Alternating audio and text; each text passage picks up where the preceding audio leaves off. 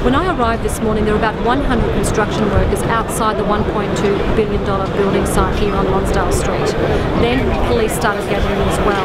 I noticed some mounted police on Swanston Street, and then just around 7 o'clock this morning, the mounted police actually moved in on the workers. That's when the violence erupted. There were punches thrown, the horses were hit. I heard an officer say, please the horses. Some of the men actually fell to the ground during the brawl. The scuffle was quelled by police, but also there are reports that capsicum spray was used to also quell the violence. After a significant standoff with police, the workers have decided to end their picket line this morning, but they say the fight is not over.